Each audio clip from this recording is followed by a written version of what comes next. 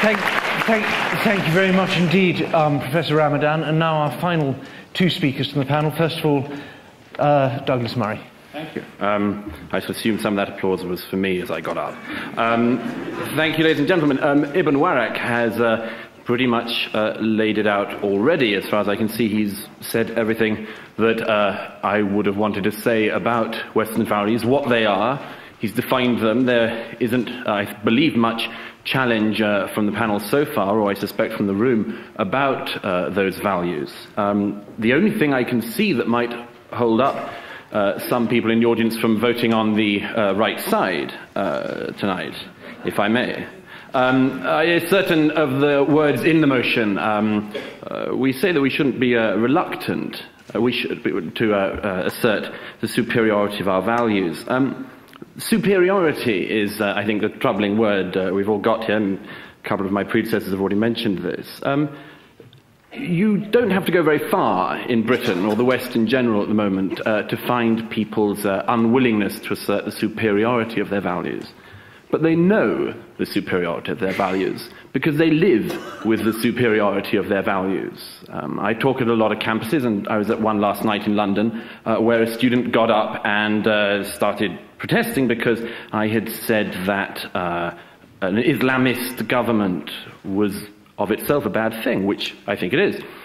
Uh, I just said to this student, and it's not a hard question uh, you'd have thought to ask, I just said, well, name me one Islamist government state that you would want to live in. And this is a serious question, ladies and gentlemen. It is also a personal question, and one which, if people were honest, they would admit is personal. As a gay man, there's not a country that's run by Muslims which I could live in. One of my best friends is in hiding again tonight, Ayaan Hirsi Ali, because of what she says, and she'd be killed if she went to any Muslim country. And I think that matters. And I think the way in which it affects our personal lives does matter, and we should not ignore it. We have the great blessing of living under this system. And we take it for granted, and we spit on it, and we can because we're living in that freedom. But I beg you, ladies and gentlemen, not to pretend that that means that we shouldn't assert the superiority of that system, because that is what it is. It is a superior system. It doesn't, I would stress this, it doesn't have to be violently asserted. Rights and values are not asserted by violence. They are asserted by showing people your rights. They are shown by example. If you do not speak up for your rights, if you do not say that you think that the rights that you enjoy should not be enjoyed by other people or people with darker skin or people in other countries, then I submit that you make a great error of judgment. Mr. Glass uh, treated us to a uh, textbook example of Western masochism. And I know some people in the hall enjoy that because some people laughed and clapped when he cited Western civilization and epitomized it by what? World War, Nazism, Abu Ghraib, Guantanamo.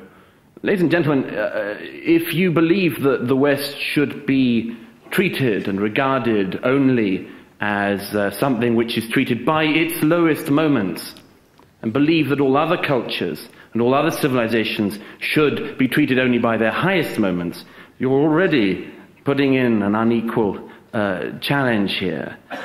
Abu Ghraib and Guantanamo, I need hardly go without saying, ladies and gentlemen, uh, were not representative of me, were not representative of the West. And the great difference that can't be cited, can't be reiterated enough, the great difference is that Lynndie England is in prison. She is in prison and did not speak for the West. She was imprisoned and found guilty in the West, by the West, for the West. That matters, ladies and gentlemen, and it can't be stressed enough. Mr. Aaronovitch has already done this. But in Iran, when people, when a couple were shot the other week for holding hands when not being married, the courts congratulated them. Ladies and gentlemen, it does not need you to want to assert your morals violently, to say that that stinks and we will not be a part of it. Mr. Ramadan then went on, and I think this is an important thing to talk about, to immigrants. He did exactly the same thing that Mr. Glass did.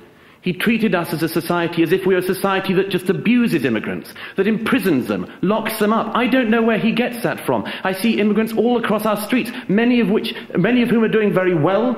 Most people in Britain have welcomed them. There hasn't been mass violence against these immigrants. By and large, they have been welcomed. How does that happen? How would the reverse happen in Saudi Arabia?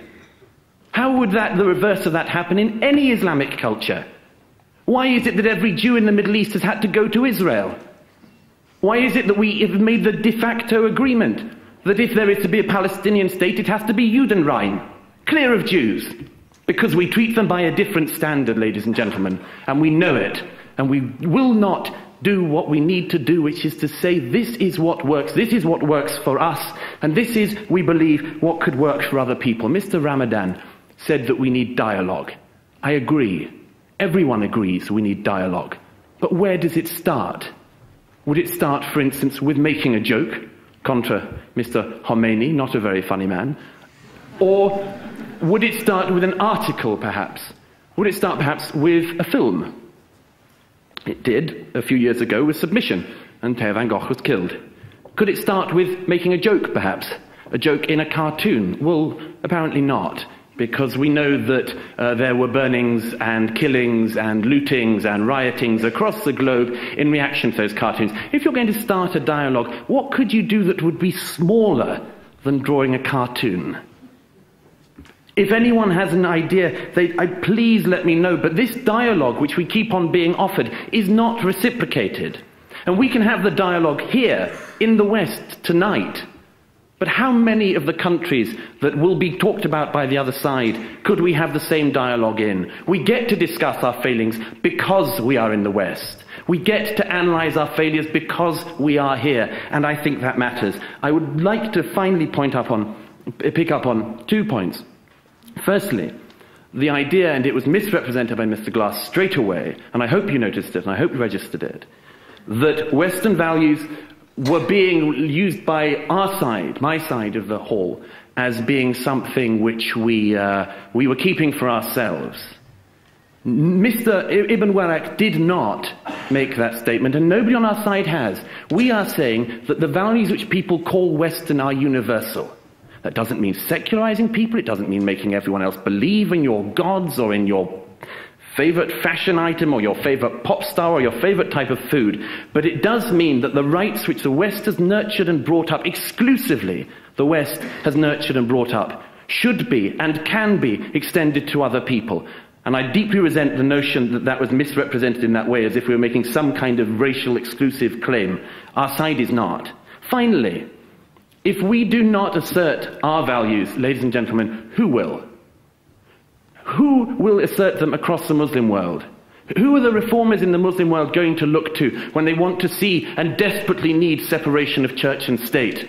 If we do not say, if we do not assert and state that we believe that is the best way to live, who is going to do it in the Muslim world? Who is going to feel emboldened to do it? And Irshad Manji uh, said a few weeks ago when she was in London, said this, if you give up on us, if you give up on yourselves, people like me are dead. And ladies and gentlemen, I think we should take that call seriously. To assert the superiority of Western values is to state the obvious. It's to have faith in ourselves and it's to have faith in other people. Thank you.